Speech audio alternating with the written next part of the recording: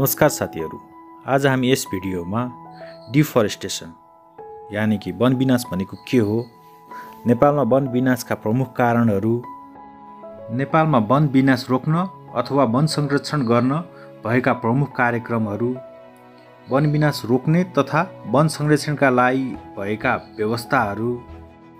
त्यसै गरी नेपालमा वन जङ्गलको विद्यमान अवस्था वन सम्पदाको महत्त्व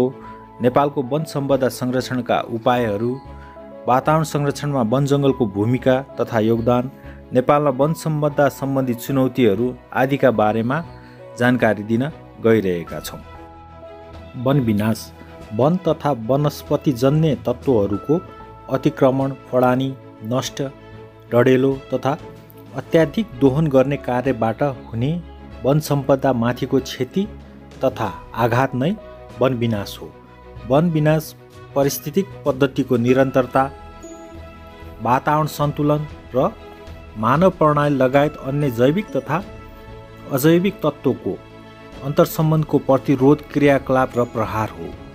यसले दिगो विकास र प्राकृतिक पद्धतिको निरन्तरतालाई समेत असर गर्दछ।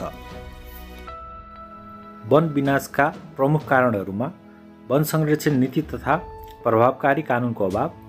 कमजोर सरकारी अनुगमन प्रणाली शिक्षा र सचेतनाको कमी जनसङ्ख्यामा अत्याधिक वृद्धि इन्धन आपूर्तिको प्रमुख स्रोत वन संसाधन बन्नु वन पैदावारमा चोरी निकासी प्राकृतिक प्रकोप भूक्षय बाढी र पहिरो आगलागी डढेलो अनियन्त्रित चरीचरण र विविध परियोजनमा वन अतिक्रमणमा वृद्धि आदि रहेका छन्। वन विनाश रोक्न गरिएका प्रमुख कार्यक्रमहरूमा सामुदायिक वन विकास कार्यक्रम निजी वन विकास कार्यक्रम राष्ट्रिय वन विकास तथा दिगो वन व्यवस्थापन कार्यक्रम राष्ट्रपति चुरे तराई मधेस कार्यक्रम बहुसरकारवाला वन कार्यक्रम कबुलियत वन तथा पशु विकास कार्यक्रम भू संरक्षण तथा जलाधार व्यवस्थापन कार्यक्रम वन सम्वर्धन तथा वृक्ष सुधार कार्यक्रम वनस्पति स्रोत अनुसन्धान संरक्षण तथा विकास कार्यक्रम जडीबुटी विकास कार्यक्रम वासस्थान परिस्थितीय प्रणाली र वन्यजन्तु संरक्षण कार्यक्रम जैविक विविधता कार्यक्रम वन अनुसन्धान तथा प्रचार प्रसार कार्यक्रम रेड फरेस्ट तथा जलवायु परिवर्तन कार्यक्रम संरक्षित वन विकास कार्यक्रम भूपरिस्थितीय कार्यक्रम जलवायु परिवर्तन समानुकूलका लागि नमुना कार्यक्रम आदि रहेका छन्। वन विनाश रोक्न तथा वन संरक्षणका लागि भएका व्यवस्थाहरूमा संवैधानिक व्यवस्था संवैधानिक व्यवस्था अन्तर्गत प्रस्तावनामै दिगो विकासप्रतिको प्रतिबद्धता धारा तिस स्वच्छ वातावरणको हक र धारा छयालिसको संवैधानिक हक मार्फत संरक्षण धारा एकाउन्नको विकास सम्बन्धी नीति प्राकृतिक स्रोत साधनको संरक्षण सम्वर्धन र उपयोग सम्बन्धी नीति पर्यटन सम्बन्धी नीतिका प्रतिबद्धताहरू कानुनी व्यवस्थामा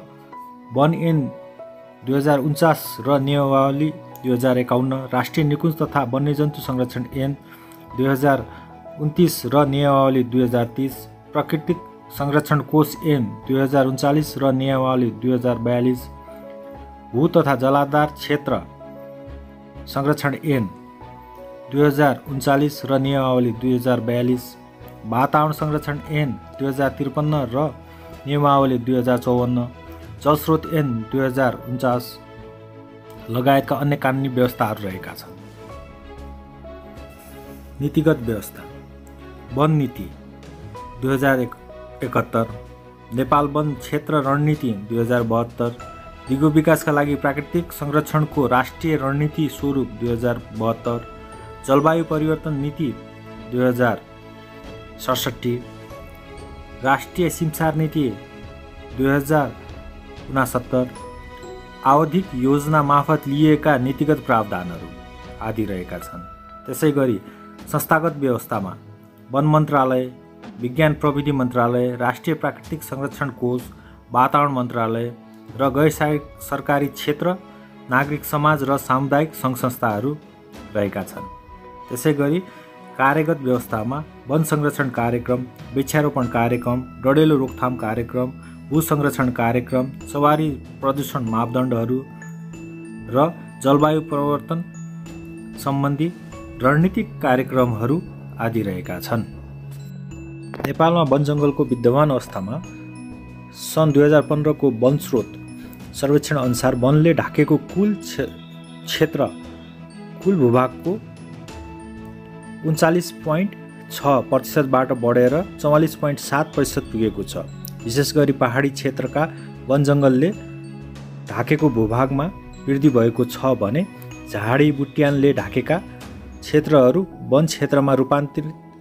हुनुका साथै वन क्षेत्र बाहिरको भूभागमा समेत वनको वृद्धि भएको छ। नेपालको कुल भूभागको चौतिस हजार एक सय छयासी वर्ग किलोमिटर क्षेत्र संरक्षित क्षेत्र रही आएको छ। यसले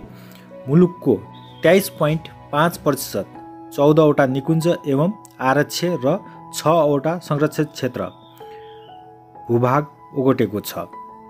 नेपालमा अवस्थित एक सय अठारवटा परिस्थितीय प्रणाली क्षेत्रमध्ये असीवटा सङ्रक्षित क्षेत्रभित्र पर्दछन्। यसै गरी गैडा बाघ अर्ना कृष्णसार हिमचितुवा कस्तरी गोही आदिको संरक्षणको लागि विशेष पहल र प्रयासहरू भइरहेका छन्। भू तथा जलाधार संरक्षणका हकमा भू संरक्षणको कार्यक्षेत्र तथा कार्यभारलाई स्थिति विस्तारित गरिँदैछ भने वनस्पति संरक्षण तथा व्यवस्थापन तथा प्रसारका लागि समेत नयाँ सोच अघि सारिएको छ। नेपालले अवलम्बन गरेको समुदायमा आधारित वन व्यवस्थापन सामुदायिक वन साझेदारी वन मध्यवर्ती सामुदायिक वन कबुलिती वन आदि विश्वकै उदाहरणीय रहेको छ। समुदायद्वारा व्यवस्थापन गरिएको वन क्षेत्रको हकमा निकुञ्ज तथा आरक्षको थप व्यवस्थापनको लागि टेवा पुर्याउन बाह्रवटा समुदायमा आधारित मध्यवर्ती क्षेत्रहरूको व्यवस्थापन गरिएको छ। नीतिगत रूपमा वन नीति दुई हजार एकहत्तर नेपाल वन क्षेत्र रणनीति दुई हजार बहत्तर र दिगो विकासका लागि प्राकृतिक संरक्षणको राष्ट्रिय रणनीति प्रारूप दुई हजार बहत्तर जारी भई यिनीहरूको कार्यान्वयनको चरण सुरु भएको छ। यसका साथै सम्मत दुई हजार एकहत्तर रदेखि दुई हजार अस्सीलाई वन दशक घोषणा गर्नुका साथै समृद्धिका लागि वन भन्ने नारा तय गरी विशेष कार्यक्रमहरू सञ्चालन भइरहेका छन्। सम्पदाको महत्त्वमा मानव प्राणवायु अक्सिजन प्राप्त गर्न इन्धनको प्रमुख स्रोतको रूपमा प्राकृतिक तथा पारिस्थितिक पद्धति सन्तुलन राख्न निर्माण सामग्री प्राप्त गर्न उद्योगका लागि कच्चा सामग्री प्राप्त गर्न अमूल्य जडीबुटी तथा औषधि प्राप्त गर्न वन्यजन्तु वासस्थान सुरक्षित गर्न पशुपन्छीको आहार प्राप्त गर्न बाढी पहिरो तथा भूक्षय रोकथाम एवं सन्तुलित वर्षात हासिल गर्न रहेका छन्। नेपालको वन सम्पदा संरक्षणका उपायहरूमा नीतिगत उपायहरू। त्रिदेशीय योजना अनुरूप दिगो वन व्यवस्थापनको रणनीति तयार गरी लागू गर्ने वन एन दुई हजार उनपचास तथा वन नीति दुई हजार एकहत्तरको पूर्ण रूपले लागू गर्ने वन सम्पदा संरक्षण सम्बन्धी स्पष्ट दिगो थाई पारदर्शी व्यावहारिक एवं समसामयिक नीति अवलम्बन गर्ने। संस्थागत उपायहरूमा वन सम्पदा संरक्षण सम्बन्धी सम्पूर्ण संस्थागत सक्षमतामा सुदृढीकरण गर्ने वन सम्पदा सम्बन्धी अत्याधिक ल्याबहरूको विकास तथा सोको शुद्धिकरण गर्ने वन विश्वविद्यालय तथा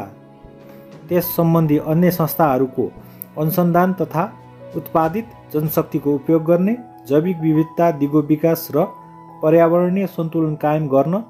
वन तथा संरक्षित क्षेत्रको व्यवस्थापन पद्धतिलाई सहभागितामूलक बनाउने। त्यसै गरी कार्यगत उपायहरूमा राष्ट्रिय विकासबाट क्षति हुने वन क्षेत्रको परिणात्मक अनुपातमा थप वृक्षारोपण गर्ने वन क्षेत्र संरक्षणलाई केन्द्रबिन्दुमा राखी सोही अनुरूपको आवश्यक सुरक्षात्मक संरक्षणात्मक तथा प्रवर्धनात्मक कार्यहरू गर्ने वन स्रोतमा आश्रित गरिब महिला दलित तथा आदिवासी जनजातिहरूको जीविकोपार्जन सुधारका लागि क्षमता अभिवृद्धि तथा सशक्तिकरणको कार्यक्रम लागू गर्ने लक्षित कार्यक्रम तथा संस्थाहरूमा संस्थागत सुधार हासिल गर्ने वन चोरी निकासी तथा वन क्षेत्र अतिक्रमण विरुद्ध सघन तथा सशक्त कदमहरू अवलोकन गर्ने रहेका छन्। वातावरण संरक्षणमा वन जङ्गलको भूमिका तथा योगदानमा प्रकृतिको उपहार तथा अपरिहार्य सम्पदाका रूपमा रहने वनको मानवीय जीवन तथा समग्र परिस्थितिकीय पद्धतिसँग विशेष सम्बन्ध रहेको हुन्छ। यसको भूमिकालाई देखाएका बुदाहरूबाट स्पष्ट गरिएको छ। परिस्थितिकीय पद्धतिको निरन्तरतामा सहयोग विभिन्न जलचर तथा थलचरहरूको वासस्थान निर्माण नियमित अक्सिजन उत्सर्जन वर्षाको सन्तुलन तथा व्यवस्थापन कार्बन सञ्चित तथा स्वच्छ वातावरण निर्माण बाढी पहिरो भूक्षय जस्ता प्राकृतिक प्रकोपको न्यूनीकरण यसले जलचर थलचर तथा समग्र चराचर जगतका लागि अनुकूल वातावरण तर्जुमा गर्दछ। नेपालमा वन सम्पदा सम्बन्धी चुनौतीहरूमा अन्तर्राष्ट्रिय सन्धि सम्झौतामा नेपालको प्रतिबद्धता अनुसार कार्य गर्नका लागि नीति कानुन र कार्यक्रमहरू स्पष्ट पार्नु यसका साथै सङ्घीय राजनैतिक व्यवस्था बमोजिम सङ्गठनात्मक संरचना तयार पार्नु र कार्यान्वयनमा ल्याउनु वन क्षेत्रको लैङ्गिक तथा सामाजिक समावेशीकरण मूल प्रवाहीकरण रणनीति दुई हजार पैँसठीको प्रभावकारी कार्यान्वयन गर्नु वन क्षेत्रबाट उत्पादन हुने लाभ तथा सेवालाई न्यायोचित आधारमा बाँडफाँड गर्नका लागि प्रशासकीय सुदृढीकरण गर्दै स्थानीय जनताको आधारभूत आवश्यकताहरू काठ दाउरा घाँस च्याउला आदिको आपूर्ति व्यवस्थापनलाई समुदाय स्तरदेखि राष्ट्रिय स्तरसम्म व्यवस्थापन गर्नुका साथै सरोकारवालाहरूसँग सहकार्य गरी वनको दिगो र वैज्ञानिक व्यवस्थालाई अझ सुदृढ गर्नु वन क्षेत्रका प्रमुख चुनौती हुन्। त्यस्तै भूकम्पबाट परिस्थितीय सेवामा भएको विनाश र नोक्सानको क्षतिपूर्ति गर्न तथा भूकम्प पीडितहरूको आवश्यकतालाई सहज र सरल तरिकाले परिपूर्ति गर्नका लागि वैकल्पिक योजना तर्जुमा गरेर थप स्रोत जुटाउनु हिमाल क्षेत्रको उचित संरक्षण हुन नसक्दा तल्लो तटीय क्षेत्रमा परेको नकारात्मक प्रभाव र सङ्क्रमणकालीन राजनैतिक अवस्थामा वन क्षेत्रको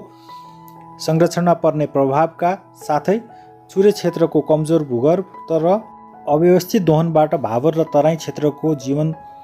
धारमा परेको जोखिम न्यूनीकरण गर्नु मुलुकको दक्षिणवर्ती भूभागमा बसोबास गर्ने वन क्षेत्रबाट टाढा रहेका घरधुरीहरूको वनबाट प्राप्त हुने वस्तु तथा सेवामा पहुँच पुर्याउनु वन डेडोल नियन्त्रण गर्नु यसका लागि स्थानीय क्षमता र जिम्मेवारी वृद्धि गर्नु र मुलुकको भौतिक तथा सामाजिक आर्थिक विकास र वन संरक्षण कार्यका बीच उत्पन्न हुने द्वन्द्व व्यवस्थापन गर्नु यस क्षेत्रको चुनौती रहेका छन्। यसका अतिरिक्त वन फडानीबाट हुने जलवायु परिवर्तन र वन तथा वनमा आश्रित समुदायका लागि दिगो अनुकूलनका कार्यक्रम सञ्चालन गर्नु थप चुनौतीहरू हुन्। नेपालका वन सम्पदा सम्बद्ध अवसरहरूमा वनले ओगटेको भूभागमा वृद्धि हुँदै जानु वनको दिगो र वैज्ञानिक व्यवस्थापनबाट काठ तथा गैर काठ वन पैदावारको व्यावसायिक उत्पादन र वितरण हुने अवस्था बन्नु विश्व उष्णीकरण र जलवायु परिवर्तनको दरलाई न्यूनीकरण गर्न वनको अहम भूमिका हुने भएकोले वन संरक्षण र विकासबाट कार्बन संरक्षण र संस्कृतिको फाइदा पुग्ने वन तथा जैविक विविधता संरक्षणबाट पर्यटनलाई संस्थागत गर्ने र जलाधार क्षेत्रको दिगो व्यवस्थापनद्वारा भूक्षय नियन्त्रण गर्दै जलस्रोत अभिवृद्धि र कृषि विकासमा टेवा पुर्याउने अवसरहरू वन क्षेत्रमा रहेका छन्। यसका साथै वन स्रोतको घनत्व विविधता र वन उद्यमशीलता सिर्जना गर्न सक्ने गरी वन स्रोतको उचित र दिगो व्यवस्थापन गर्नु यस क्षेत्रको अवसर हो। यो भिडियो अन्तसम्म हेर्नुभएकोमा धन्यवाद छ र मन परे लाइक र सब्सक्राइब गर्न नबिर्सिनुहोला। नमस्कार।